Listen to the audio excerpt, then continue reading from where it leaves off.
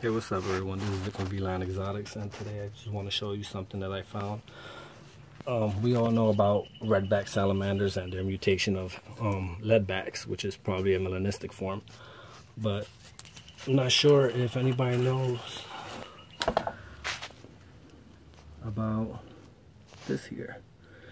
Is it a, um, a orange hypo? Because it lacks all black, it's solid orange and as you see it's with some red backs which looks exactly the same.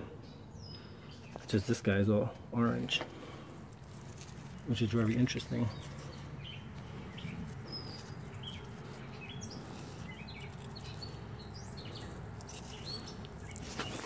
Unless it's another species. If so just let me know what you guys think.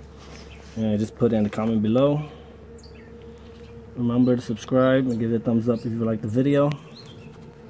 Thanks for watching. Hope to hear from you guys soon. Peace.